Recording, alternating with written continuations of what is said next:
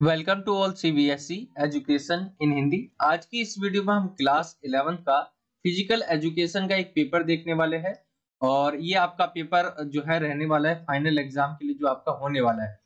Third जो arts के बच्चों की अगर हम बात करें जो आर्ट्स के बच्चे हैं, ठीक है, जिन्होंने आर्ट्स स्ट्रीम चूज़ किया है।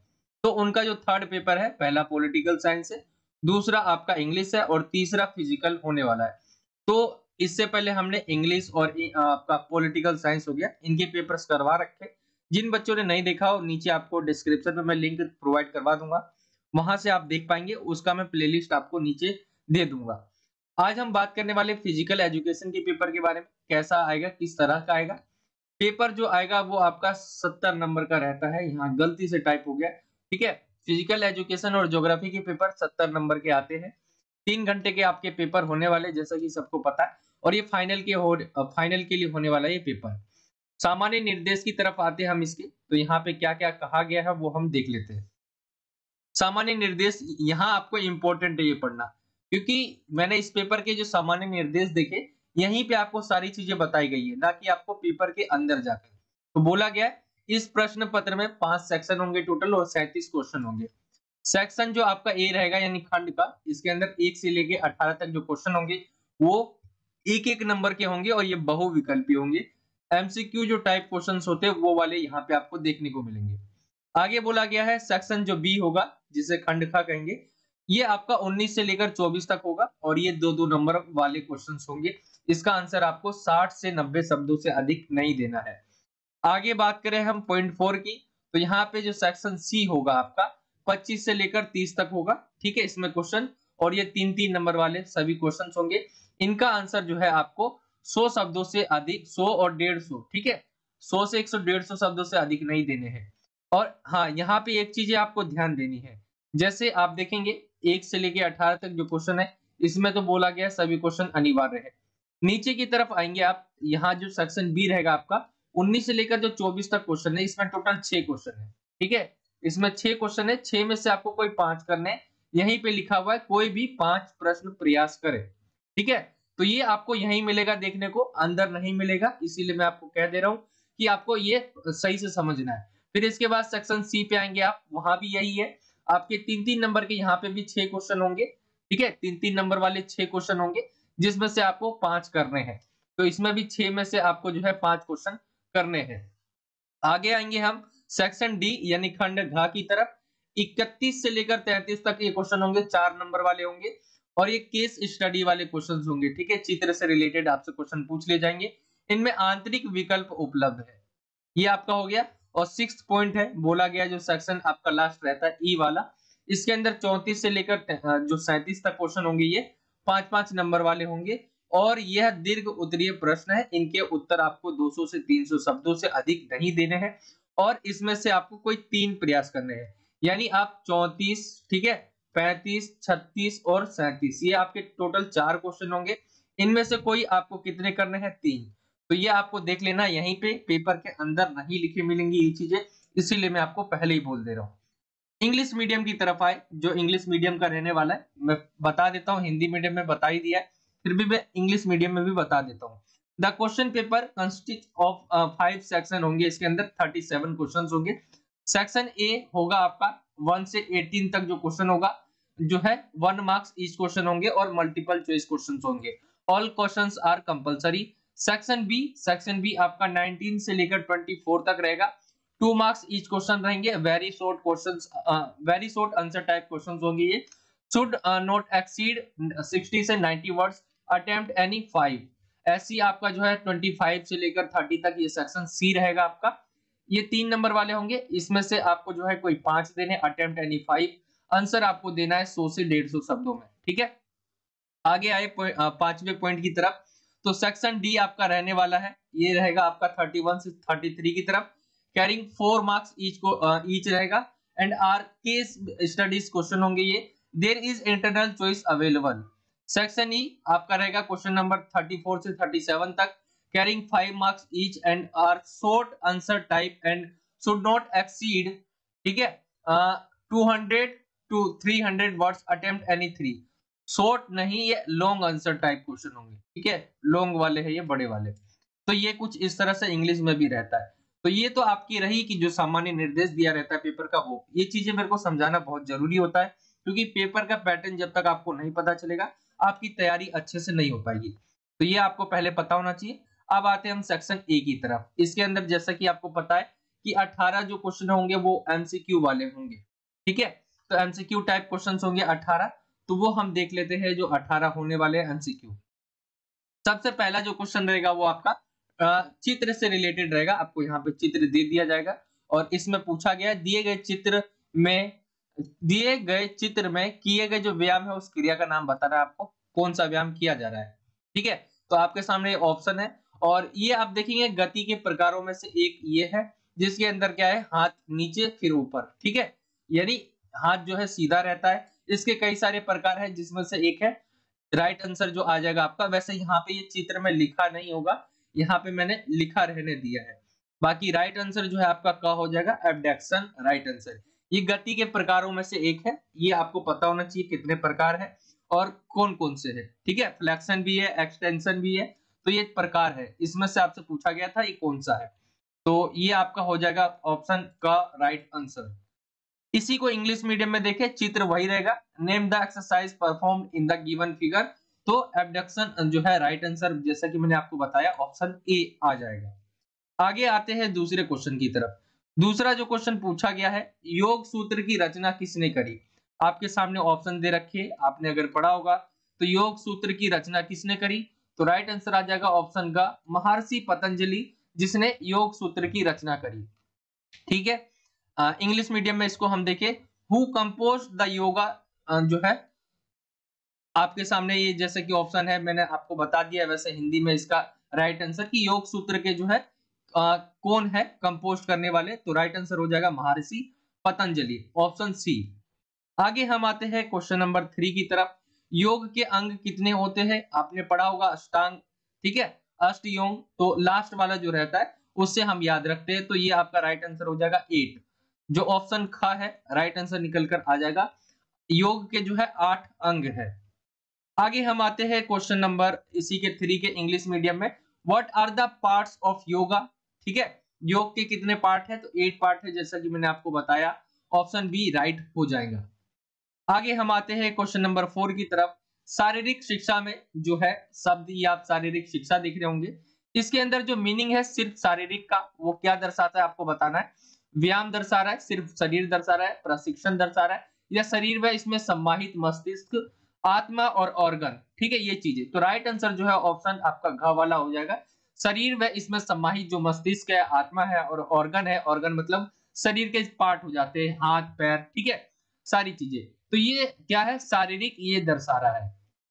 आगे इसी को इंग्लिश मीडियम में अगर हम देखें what does the word physical in physical education refer to ठीक है ऑप्शन ये आपके दिए हुए आपके राइट right आंसर हो जाएँगे। ये आपका जो है option D body and it's जो है content brain soul organs ETC तो ये ऑप्शन डी आपका राइट निकल कर आ जाएगा। आगे हम आते हैं नेक्स्ट क्वेश्चन की तरफ़। क्वेश्चन नंबर आपका पांचवा है। पहले खेलो इंडिया शीतकालीन खेल कहाँ आयोजित आयोजित हुए थे? आपको बताना है कि सबसे पहले जो खेलो इंडिया जो खेल था, जिसके अंदर शीतकालीन खेल की बात हो रही है, वो कहाँ आयोजित हुए थे? आपके सामने ऑप्शन है लेह और गुलमर्ग में, श्रीनगर में, शिमला में, ठीक है? चमोली चमोली एवं ओली में। तो ये आपके ऑप्शन दे रखे हुए। शीतकालीन खेल वो होते हैं जो ठंड में खेले जाते खेल है, ठीक है? तो ये आपके सामने ऑप्शन दिए हुए राइट आंसर आपका क्या हो जाएगा। लेह और गोलमर्ग में जो है सबसे पहला खेलो इंडिया जो कार्यक्रम हुआ था, वो शीतकालीन खेल जो है वो लेह एवं गोलमर्ग में हुआ था। इसी को इंग्लिश मीडियम में देखिए। वेयर वर द फ़र्स्ट खेल Khelo India winter games held तो राइट आंसर हो जाएगा आपका Leh and Gulmarg. Option A इसका राइट हो जाएगा। आगे हम आते हैं। यहाँ पे है आपका अंतरराष्ट्रीय ओलंपिक संघ, यानी यहाँ पे हम देखिए आईओसी इंटरनेशनल ओलंपिक कमेटी की स्थापना कब हुई थी? आपके सामने ऑप्शन दिए हुए हैं और ये याद रखना है आपको, इससे रिलेटेड पाँच नंबर में भी क्वेश्चन पूछे जाते हैं और शॉर्ट में भी ये आपके एमसीक्यू में भी पूछे जाएँगे। तो अंतरराष्ट्रीय ओलंपिक कमेटी यानी आईओसी ठीक है, जिसे हिंदी में अंतरराष्ट्रीय ओलंपिक संघ कहते हैं, इसकी स्थापना हुई थी एटी नाइनटी फोर में। ऑप्शन जो निकल कर आ जाएगा वो खा वाला निकल कर आ जाएगा। इसकी स्थापना इस इस समय हुई थी? इंग्लिश मीडियम में इसी को हम देखें when was the international Olympic association ठीक है? इसको एसोसिएशन भी बोल देते और कमेटी भी बोल देते एस्टेब्लिश्ड कब हुआ था? तो आपके सामने ऑप्शन दिए हुए और मैंने राइट आंसर आपको बता दिया 1894 में इसकी स्थापना हुई थी। ऑप्शन जो बी है, वो राइट आंसर आ जाएगा। क्वेश्चन नंबर सेवन की तरफ़ आते प्राचीन ओलंपिक गेम्स किसके सम्मान में आयोजित किए जाते थे? तो प्राचीन जब ओलंपिक होते थे तो वो जो है जीवस, आप जानते होंगे जो जीउस लोग हैं, उनके देवता है जीउस ठीक है? मतलब इसराइल आपका सबसे अच्छा एग्ज़ाम्पल है, भारत का बहुत अच्छा मित्र भी है। तो आपको पता होगा, वहाँ यहूदी लोग रहते हैं, वो क्या है, जीवस की जो है पूजा करते हैं, उनका जो होता है। तो उनके सम्मान में जो है, ये आयोजित किया जाता था, जब प्राचीन ओलंपिक गेम हुआ करते थे। तो राइट आंसर निकल कर आ जाएगा ऑप्शन आपका ख। इसी को अगर हम इंग्लिश इंग्लिश मीडियम में देखें इन वो in whose honour were the ancient Olympic games held ठीक है? तो राइट आंसर ऑप्शन बी हो जाएगा आपका जीउस क्वेश्चन नंबर एट की तरफ़ आते हैं। क्वेश्चन नंबर एट है आपका। अक्षमता के लिए उपयोग किए, किया जाने वाला उपयुक्त शब्द है। अक्षमता मतलब क्या होता है? आपको बताना है। या उपयुक्त, यानी यूज़ किया जाने वाला वर्ड कौन सा है? मंद्र है, अंधा है, अपंगता है, दिव्यांग है। तो आप कहीं बस में सफ़र करते होंगे या मेट्रो में सफ़र करते होंगे तो आपको पता होगा यहाँ पे लिखा रहता है कि ये दिव्यांगों के लिए। तो किसका यूज़ कर किया जाता है अक्षमता के लिए? क्षमता का मतलब है वो व्यक्ति जो नॉर्मल जो व्यक्ति है उनकी तरह नहीं है मतलब आ, उनसे अलग है ठीक है? शारीरिक रूप से हो गया मानसिक रूप से हो गया कई प्रकार से होते हैं। तो दिव्यांग राइट आंसर निकल कर आ जाएगा। आपने बस में मेट्रो में देखा भी होगा ये जो सीट है ये दिव्यांगों के लिए ऐसे लिखा होता है। क्षमता जो है दिव्यांग के लिए यूज़ किया जाता है। इसी को इंग्लिश मीडियम में हम देखें what is the appropriate word to use for disability ठीक है? तो ये हो जाएगा डिसेबल्ड राइट आंसर आपका जो है ऑप्शन डी वाला जो है निकल कर आ जाएगा। आगे हम आते हैं क्वेश्चन नंबर नाइन पर। क्वेश्चन नंबर नाइन है, कौन सा विकार है? यानी कौन सा? इनमें से जो है विकार मतलब एक तरह से आप प्रॉब्लम समस्या, रुकावट, ये सारे विकार के जो है अर्थ होते हैं। तो कार्य करने में रुकावट ठीक है, मानसिक बीमारी हानिकारक, हानिकारकों का बढ़ना, यह एक शारीरिक अक्षमता है। तो विकार मतलब क्या हो जाएगा? कार्य में रुकावट, ऑप्शन जो का है, वो निकल कर आ जाएगा राइट आंसर ये आपका हो जाएगा विकार का। ये हो जाएगा इंग्लिश मीडियम में विच इज़ द डिसऑर्डर जो है आपके सामने ऑप्शन दिए हुए, मैंने आपको बता दिया। ये आपका जो है कार्य ऑप्शन जो ए है, वो राइट आंसर निकल कर आ जाएगा। ये आपके अभी तक नौ क्वेश्चन हो गए एमसीक्यू के। अब दसवें क्वेश्चन पे आते हैं। दसवां क्वेश्चन कुछ इस तरह से आपका मिलान करने के लिए बोला गया है, ठीक है? और नीचे आपके ऑप्शन दे दिए गए हैं। आपको बताना है कि कौन सा राइट आंसर निकल कर आता है। तो हम चलते हैं। एक बार क्वेश्चन इसको देख लेते हैं हम सूची को। यहाँ पे सूची वन करके और सूची टू करके दिया हुआ है। स्थिर शक्ति क्या होगी? आपके सामने ये दिए हुए आपको चुनना है। स्थिर शक्ति का मतलब क्या है? तो स्थिर अवस्था में प्रतिरोध के विरुद्ध मांसपेशियों की कार्य करने की योग्यता क्या है? स्थिर शक्ति है। तो ये वाला पहले का हो गया। अधिकतम शक्ति किसे बोलेंगे? अधिकतम शक्ति क्या होगा इसमें से? आप इसको पढ़ेंगे तो इसका राइट आंसर निकल कर आ जाएगा। एक ही प्रयास में अधिकतम प्रतिरोध के विरुद्ध जो है मांसपेशियों की कार्य करने की योग्यता, ये हो जाएगी आपकी अधिकतम शक्ति। तीसरा हो जाएगा विस्फोट शक्ति कौन सी होगी? तो अधिकतम शक्ति या उच्च गति से जो है प्रतिरोध पर नियंत्रण करना या थकान की अवस्था में जो है ये तो इसका राइट आंसर निकल कर ये वाला आ जाएगा, यानी थर्ड वाला इसका हो जाएगा, और शक्ति सहनशीलता का मतलब क्या है? थकान की अवस्था में एक व्यक्ति द्वारा प्रतिरोध प्रतिरोध जो है, नियंत्रण करना। तो ये वाला राइट आंसर हो जाएगा फोर का। तो आप इसे मैच कर लेना। इसमें हम राइट आंसर देखें, क्या निकल कर आ जाएगा? ए का जो है आंसर मैं आपको बता देता हूँ राइट आंसर जो है आपका ए वाला आ जाएगा। पहले का चौथा, ठीक है, दूसरे का दूसरा, तीसरे का पहला, और जो है चौथे का तीसरा। तो राइट आंसर ये वाला हो जाएगा। आप इसे मैच कर लेना। इसी को इंग्लिश मीडियम में देखें हम। लिस्ट आपका वन और टू दे रखा हुआ है। ठीक है? स्टैसिक जो है पावर यहाँ पे दे रखा है। जैसे कि मैंने आपको बताया कि सबसे पहला ये हो जाएगा आपका। एबिलिटी ऑफ़ जो है, आपका ability of muscles to do work against जो है resistance stately state in stately state तो राइट right आंसर आपका जो है पहले का क्या हो जाएगा? फोर वाला हो जाएगा। यानी यहाँ पे एक आ जाएगा, ठीक है? दूसरे का यही हो जाएगा, तीसरे का जो है ये हो जाएगा और चौथे का ये हो जाएगा। तो यहाँ पे आपको मैच कर लेना है, मैंने हिंदी मीडियम में आपको बता ही दिया है। यहाँ पे राइट आंसर जो है ए वाला आ जाएगा। ठीक है? आगे हम आते हैं अगले क्वेश्चन पे। क्वेश्चन नंबर आपका ग्यारहवा है। दूसरे श्वास के क्या लक्षण है? आपके सामने ऑप्शन दिए हुए। तेज सांस चलना, छाती में घुटन होना, और भी आपके ऑप्शन है लैटिक एसिड बनना या उपरोक्त सभी। तो आपके सामने ऑप्शन है राइट आंसर आपका डी निकल कर आ जाएगा, यानी घ वाला जो है राइट आंसर सही है। इसी को इंग्लिश मीडियम में देखे। What are the symptoms of second breath के जो है सिम्टम्स क्या होते हैं? तो all of the above right answer option D निकल कर आ जाएगा। आगे हम आते हैं नेक्स्ट क्वेश्चन की तरफ़। क्वेश्चन नंबर आपका बारवा है। श्वसन तंत्र का क्या कार्य होता है, आपको बताना है। आपके सामने ऑप्शन दिए हुए। रक्तचाप को नियमित करना, या, ठीक है? ओ और सीओ का जो है एक्सचेंज करना, यानी ऑक्सीजन और सीओ टू यानी कार्बन डाइऑक्साइड का क्या है? एक्सचेंज करना। ग है आपका आरबीसी का उत्पादन करना, या शरीर में गति और नियंत्रण करना। तो राइट आंसर निकल कर आ जाएगा ऑप्शन घ, आपका जो है राइट आंसर निकल कर आ जाएगा। तो ये है आपका क्वेश्चन नंबर बारवा।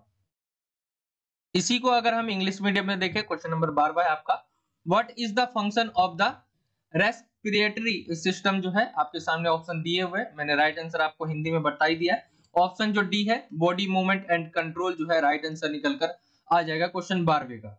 हम आते हैं क्वेश्चन नंबर तेरहवे की तरफ़। क्वेश्चन नंबर तेरहवा है आपका, मानव शरीर रचना विज्ञान का क्या जो अर्थ क्या है? आपके सामने ऑप्शन है, मानव शरीर रचना विज्ञान का क्या अर्थ है? जो मानव शरीर की जो रचना है, उसका क्या अर्थ है? विज्ञान का। तो आपके सामने ऑप्शन दिए हुए भौतिकी के नियमों का प्रयोग कर मानवीय गतियों का अध्ययन, ठीक है? गति का अध्ययन करना या शरीर के सभी संस्थानों के कार्य तथा उन पर, उनके परस्पर संबंध जो है उनका अध्ययन करना या मानव शरीर के सभी अंगों की बनावट, आकार, स्वरूप, स्थिति तथा भार का अध्ययन।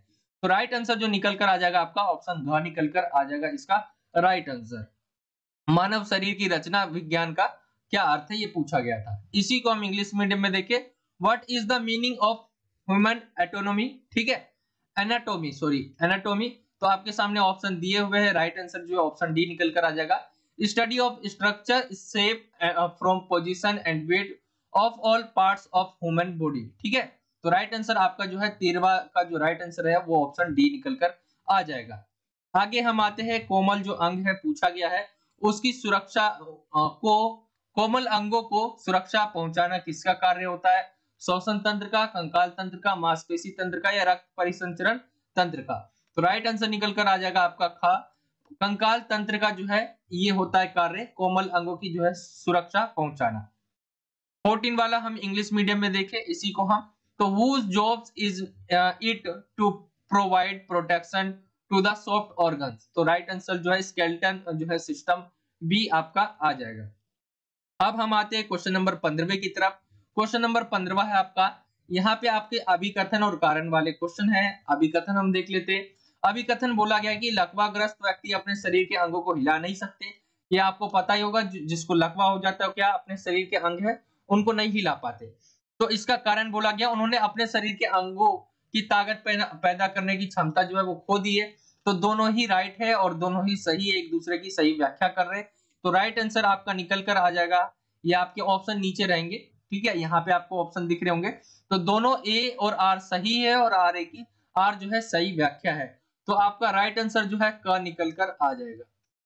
आगे हम आते हैं नेक्स्ट इसी को इंग्लिश मीडियम में देखे given below are two statement given with assertion and जो है रीजन तो क्या दिया हुआ है? एक paralyse people can not move their body part they have lost the ability to generate force from their body part तो दोनों ही सही है, जैसा कि मैंने आपको बताया। ऑप्शन जो इसका है राइट आंसर ए निकल कर आ जाएगा। Both A and R are जो है correct and R is the correct explanation तो ए राइट आंसर निकल कर आ जाएगा।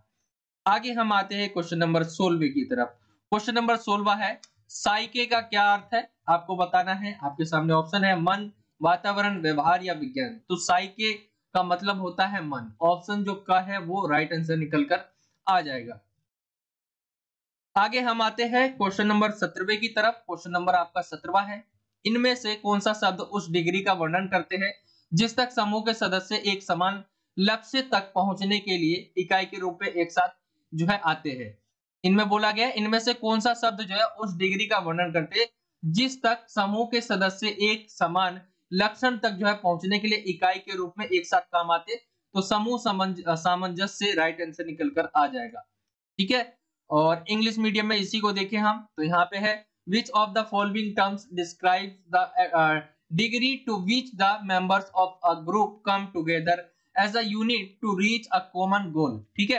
तो ग्रुप ये आपका जो है राइट आंसर ए वाला आ जाएगा। अब हम आते हैं क्वेश्चन नंबर अठारवा है। ये आपका एमसीक्यू का लास्ट क्वेश्चन बचता है। ये पूछा गया है, मदिरा यानी शराब किसे जो है उत्तेजित करती है? आपके सामने ऑप्शन है, मांसपेशीय संस्थान। पाचन क्रिया संस्थान, स्नायु संस्थान या उत्सर्जन संस्थान। तो स्नायु संस्थान जो है ऑप्शन जो ग है, वो राइट आंसर निकल कर आ जाएगा।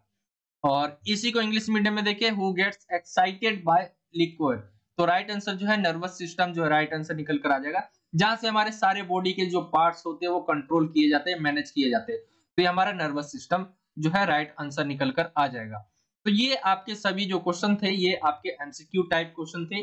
यहाँ तक आपके एक एक नंबर के क्वेश्चन थे। आई होप कि आपको यहाँ तक पता चला होगा कि किस किस तरह के क्वेश्चन आपसे पूछे जाएँगे पेपर में। अब हम आते हैं सेक्शन बी की तरफ़। सेक्शन बी जो रहेगा, ये आपके दो मार्क्स वाले जो क्वेश्चन रहेंगे, वो आपको दिखेंगे और यहाँ पे और इसके अंदर छह क्वेश्चन होंगे। छह में से जैसा कि आपको बताया मैंने, पाँच करने हैं। तो खेलो इंडिया प्रोग्राम में शामिल नए खेलों और त्योहारों का नाम पूछा गया है। ये आपका है क्वेश्चन नंबर उन्नीसवा। तो खेलो इंडिया जो है शीतकालीन खेल है, ठीक है? शीत ऋतु, बर्फ़ इत्यादि में खेले जाने वाले खेल जो है जैसे आइस, हॉकी, आइस स्केटिंग आदि 2020 में शुरू हुए, ठीक है? तो यहाँ पे आप देख सकते हो, आइस हॉकी हो गया, आइस स्केटिंग हो गया, ये 2020 में शुरू हुए। खेलो इंडिया विश्वविद्यालय खेल जो है, भारत के बीच ये मुकाबले 2020 में शुरू हुए। तो ये आप यहाँ पे पॉइंट्स दे रख, दे सकते हो कौन कौन से खेल जो है, या नए त्योहारों के नाम पूछे गए थे। इसी को इंग्लिश मीडियम में हम देखें। Name the new sports festival included in the Khelo India programme तो खेलो इंडिया विंटर गेम है, ठीक है? खेलो इंडिया विंटर गेम जो है games played in winter snow ETC like ice hockey हो गया आइस स्केटिंग हो गया etc started in 2020 Khelo India university games these matches between India started in 2020 तो ये हो जाएगा आपका इंग्लिश मीडियम में। आगे हम देखिए क्वेश्चन नंबर आपका 20 है। यौगिक क्रिया से आप क्या समझते हैं? यौगिक क्रिया क्या है? तो यौगिक क्रिया क्या है? शुद्धि क्रिया भी इसको कहते हैं। क्वेश्चन आपसे ये भी पूछा जा सकता है, शुद्धि क्रिया क्या है? तो जिसमें छह क्रियाओं के ज़रिए मनुष्य के सारे शरीर का शुद्धिकरण किया जाता है। इसके माध्यम से मानव के जो स्वास्थ्य में है, वो सुधार आता है, आंतरिक रूप से शुद्धिकरण होता है। इन क्रियाओं का जो संचालन है, किसी अनुभवी व्यक्ति की देखरेख में ही करना चाहिए। तो ये है आपका यौगिक क्रिया। इसी को अगर हम इंग्लिश मीडियम में देखें what do you understand by compound work ठीक है? जो है योगिक क्रिया, यहाँ पे आप इसे जो है यौगिक क्रिया लिखे, ठीक है? यौगिक क्रिया। तो यौगिक क्रिया, जिसे हम शुद्धि क्रिया भी कहते हैं in which purification of the whole human body is done through six actions तीसरा, दूसरा पॉइंट है through this human health improves and purification takes place internally these activities should be conducted uh, conducted only under the supervision of uh, an experienced person. तो ये आपका English medium में हो जाएगा यौगिक क्रिया के बारे में। ठीक है? तो ये आपका था जो है क्वेश्चन नंबर ट्वेंटी हम आते हैं अब ट्वेंटी वन की तरफ़। क्वेश्चन नंबर आपका ट्वेंटी वन है। स्वस्थ आहार यानी अच्छा जो है खाना उसको हम स्वस्थ आहार बोलते हैं। सकारात्मक जीवन शैली का एक घटक है, चर्चा कीजिए। तो ये आपको क्या एक्सप्लेन करना है? देखिए, स्वस्थ आहार का मतलब होता है अच्छा खाना। अच्छा खाना जो है सकारात्मक जीवन शैली का एक घटक है। अब कोई व्यक्ति अच्छा खाना नहीं खाएगा तो पूरे दिन वर्क भी नहीं कर पाएगा, उसका शरीर सही नहीं रहेगा। तो अच्छा खाना किसी भी व्यक्ति के जो है जीवन शैली के लिए बहुत ज़्यादा इंपॉर्टेंट है और उसके बिना मनुष्य के अपना शारीरिक के साथ साथ मानसिक विकास भी नहीं कर सकता। तो स्वस्थ आहार सकारात्मक जीवन शैली के मुख्य घटकों में से एक है। एक सकारात्मक जीवन शैली का नेतृत्व करने के लिए स्वस्थ आहार जो है आवश्यक है। एक स्वस्थ आहार जीवन शैली का नेतृत्व करने के लिए स्वस्थ आहार जो है आवश्यक है। यहाँ पे देखेंगे आप, जो है ताज़ा फलों और सब्जियों, साबुत अनाजों और जो है, जो भी कम वसा डेयरी उत्पाद है, उनको शामिल करते हैं हम स्वस्थ आहार में। ऐसे आहार, स्वस्थ आहार में जो है विटामिन सी विटामिन की होते हैं, पोषक तत्व होते हैं और खनिजों की क्या है, मात्रा ज़्यादा होती है। तो इनको बनाए रखने में मदद करते ये ठीक कहा गया है कि खाना एक ज़रूरत है, परंतु समझदारी से खाना क्या है? एक कला है। आपने काफ़ी ज़्यादा व्यक्तियों को ये सुना होगा बोलते हुए कि हम बहुत ज़्यादा खाना खाते हैं, लेकिन हमारा शरीर जो है स्वस्थ नहीं होता या हम जो है बहुत पतले हैं, कमज़ोर है। तो यही बात कही जाती है कि एक यहाँ पे बोला गया ना कि खाना एक ज़रूरत है, परंतु समझदारी से खाना क्या है? एक कला है। तो समझदारी से अगर कोई भी व्यक्ति खाना खाता है तो उसके शरीर में लगता है। जैसे कि आप कोई व्यक्ति बहुत ज़्यादा खाना खा रहा है, लेकिन उसके शरीर में क्यों नहीं लग रहा तो उसको क्या है कि वो खाने को जो है, बहुत ज़्यादा चबा नहीं रहा है, टुकड़े ज़्यादा करके नहीं खा रहा है, वो निगल जा रहा है, जिसकी वजह से क्या उसके शरीर में नहीं लग पा रहा है। तो ये एक रीजन है। इसी को हम इंग्लिश मीडियम में देखें। हेल्थली डाइट जो है is a component of a positive life lifestyle discuss करना है। ये आपका हेल्थली जो डाइट है, किस तरह आपको जो है बताया गया, जैसा क्वेश्चन तो ये आपका इंग्लिश मीडियम में आंसर हो जाएगा। यहाँ आप देख सकते हैं one of the main competence of positive lifestyle healthy diet essential to lead a positive lifestyle healthy diet is a यहाँ पे दो दो बार लिख गया। Healthy diet life the style we follow includes fresh fruits and vegetables whole grain and वो low low fat dairy product हो गए। Such a healthy diet help helps maintain of uh, vitamins, uh, nutrients हो गए आपके minerals हो गए ठीक है in the body. तो ये राइट आंसर निकल कर आ जाएगा आपका क्वेश्चन नंबर 21 का इंग्लिश मीडियम में. इसी को अगर हम आगे हम देखें क्वेश्चन नंबर 22 की तरफ़ तो श्वसन प्रणाली के क्या कार्य है पूछा गया है. तो श्वसन प्रणाली के मुख्य कार्य कौन कौन से है? एक तो हवा और खून के बीच जो ऑक्सीजन है और कार्बन डाइऑक्साइड है उसका आदान प्रदान करने के लिए इंपॉर्टेंट है ठीक है इसका एक कार्य है. ध्वनि उत्पन्न करने के लिए यह जो है यह ध्वनि की जो है वोकल क्रोड्स की ध्वनि उत्पन्न करने में मदद करता है और रक्त यानी जो है पीएच को नियमित करने के लिए ये इनके कार्य है श्वसन प्रणाली के। इसी को इंग्लिश में इंग्लिश में अगर हम देखें तो what are the function of the respiratory system ठीक है? तो the main function of the respiratory system are जो है to exchange oxygen and carbon dioxide between air and blood sorry blood यहाँ पे to generate sound to it helps in producing the sound of जो है vocal cords to regulate blood pH like ठीक है? PH तो, आपका आ जाएगा। तो ये राइट आंसर हो जाएगा इंग्लिश मीडियम में। 23 पे आते हैं हम क्वेश्चन नंबर ये है आपका क्वेश्चन नंबर 23 और यहाँ पे बोला गया है वृद्धि और विकास में अंतर स्पष्ट करना है। तो वृद्धि कैसी होती है? वृद्धि का अर्थ क्या होता है? आकार होता है भार होता है लंबाई चौड़ाई ये चीज़ें होती है। अगर वृद्धि है तो उसकी एक कोई आका, आकार है ठीक है? उसकी लंबाई है उसका वज़न है उसकी चौड़ाई है ये चीज़ें होती है वृद्धि में। विकास क्या होता है? विकास हमें दिखता नहीं है लेकिन क्या है? अंदर ही अंदर हो रहा होता है। जैसे विकास का अर्थ क्या है? शरीर में गुणात्मक परिवर्तन। जैसे बच्चे की कार्य कुशलता कार्य क्षमता और व्यवहार में प्रगति। पहले वही बच्चा पाँच किलो वज़न उठाया करता था अब वो दस किलो उठा लेता है तो क्या है ये? ये विकास है बच्चे का। ये हमें दिखता नहीं है लेकिन ये जो है होता है। तो वृद्धि और विकास में आई होप कि आपको अंतर पता चला होगा। इंग्लिश मीडियम में देखिए डिफरेंटिव आपको बताना है बिटवीन ग्रोथ एंड डेवलपमेंट में। तो यहाँ पे हम देखिए growth growth means increase in size weight length breadth ठीक है ETC development the meaning of development is a qualitative जो है qualitative change in the body such a progress in the child efficiency work capacity and behaviour तो जैसा कि मैंने आपको बताया ग्रोथ और डेवलपमेंट में क्या अंतर रहता है। यही रहेगा हिंदी में जैसा है। आगे हम आते हैं क्वेश्चन नंबर 24 की तरफ़। क्वेश्चन नंबर आपका 24 है। शारीरिक शिक्षा के द्वारा आध्यात्मिक विकास किस प्रकार सकारात्मक प्रभावित करते हैं? तो आध्यात्मिक विकास, प्रकृति से लगाव, प्रकृति के नियमों के अनुसार कार्य करना, माफ़ी देना, माफ़ी मांगना, शांति व संतोष के साथ जो है शिष्टाचार के साथ रहना इत्यादि शारीरिक शिक्षा के द्वारा उपरोक्त सभी सकारात्मक प्रभावित होते हैं। तो शारीरिक शिक्षा के द्वारा आध्यात्मिक विकास किस प्रकार सकारात्मक प्रभावित करते तो प्रकृति से लगाव ये सारे आपके दिए हुए हैं।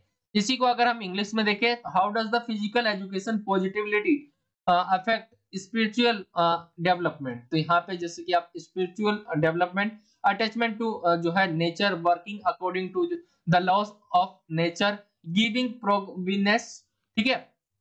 Forgiveness asking for forgiveness living with peace and satisfaction with manners, etc. All of the above are positivity affected by physical education. तो ये आपका हो जाएगा क्वेश्चन नंबर 24 तो ये आपका पेपर का हम यहीं तक रहने देते हैं पार्ट वन क्वेश्चन नंबर 24 तक। आगे के जो क्वेश्चन है, हम वो पार्ट टू में करेंगे। तो ये आपका कुछ इस तरह से पैटर्न रहता है पेपर का। और एक चीज़ मैं बताते चलूँ आपको कि मैं, मेरे पास कोई फ़िज़िकल एजुकेशन सब्जेक्ट नहीं था। बच्चों की काफ़ी ज़्यादा डिमांड रहती है तो मुझे कराना पड़ता है या ऐसे पैटर्न पेपर जो है या किताबें उनकी देखनी पड़ती है, तब बनाना पड़ता है। तो मुझे फ़िज़िकल एजुकेशन के बारे में इतना नहीं पता है, जितना आपको भी पता हो। क्योंकि मेरे पास फ़िज़िकल एजुकेशन ट्वेल्थ में नहीं था, इसकी इसकी जगह मेरे पास ज्योग्राफी था। तो फ़िज़िकल एजुकेशन अब बच्चे जो है मांग करते हैं ज़्यादा तो उनके लिए बनाना पड़ता है, कुछ ना कुछ करना ही पड़ता है। तो ऐसे में मैंने सोचा आपके लिए कुछ, आप फ़िज़िकल एजुकेशन के पेपर प्रोवाइड करवा ही दिया जाए, ताकि आप जो है पेपर में ये तो समझ पाओगे कि पैटर्न क्या है, और ये सभी क्वेश्चन ये ज़रूर है कि ये सभी क्वेश्चन इंपॉर्टेंट है। भले ही मेरे को नहीं आता है फ़िज़िकल एजुकेशन लेकिन ये जो क्वेश्चन लिए जाते हैं, ये सभी जो है प्रीवियस ईयर में आए हुए क्वेश्चन होते, या ये आपके प्री बोर्ड हो गया मिड टर्म हो गया जो भी आपके होते हैं। इलेवेंथ का प्री बोर्ड नहीं होता है। मिड टर्म हो गया आपके टर्म वन हो गया। और जो प्रीवियस ईयर के क्वेश्चन होते हैं उनसे लिए जाते तो उनके आने के चांस बहुत ज़्यादा रहते हैं ठीक है? और जो आ, इस समय के हिसाब से बहुत ज़्यादा इंपॉर्टेंट लगते हैं तो उनको लिए जाते हैं तो इन क्वेश्चन को आपको ज़रूर करना है। तो ये आपका फ़िज़िकल एजुकेशन का पार्ट वन था। पार्ट टू का लिंक मैं आपको डिस्क्रिप्शन में प्रोवाइड करवा दूँगा। वहाँ से आप देख पाएँगे। जब मैं पार्ट टू डाल दूँगा। तो उसका लिंक मैं डिस्क्रिप्शन में दे दूँगा। तो ये था आज का वीडियो। वीडियो अच्छा लगा हो तो वीडियो को लाइक करें शेयर करें अपने दोस्तों में। और अगर आप हमारे चैनल पर नए हो तो चैनल को सब्सक्राइब करना ना भूले। ज़रूर सब्सक्राइब करें चैनल को। मिलता हूँ आपसे अगली और एक्साइटिंग वीडियो में। जब तक के लिए जय हिंद, जय भारत, वंदे मातरम।